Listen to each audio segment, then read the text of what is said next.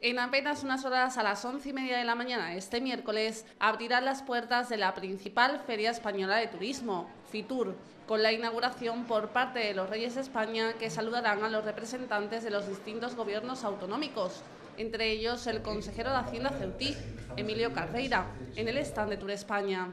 Precisamente junto al stand de Tour España y otras autonomías como Madrid, Canarias, Galicia, Asturias y Cantabria, en el pabellón número 9 estará ubicado el espacio de Ceuta, 150 metros cuadrados en el que estará representada no solo la ciudad autónoma, sino también las empresas locales. En total, 24 de ellas acuden en esta ocasión como coexpositoras. A lo largo de la mañana de este miércoles se firmarán cuatro protocolos, dos de ellos con los ayuntamientos de Estepona y Granada, para la emisión y cesión recíproca de campañas de promoción, mientras que los otros dos se rubricarán con PREDIF, Plataforma Estatal Representativa de Personas con Discapacidad Física, y la Real Federación Española de Fútbol, con el fin de potenciar la marca Ceuta. Para finalizar esta primera jornada está previsto que el gerente de servicios turísticos, Juan Manuel Doncel, acuda a una reunión de directores generales de turismo y al acto de entrega de banderas de la estación náutica que se celebrará en la Cámara de Comercio de Madrid y en el que se reconocerá a los mejores destinos náuticos españoles, incluido Ceuta.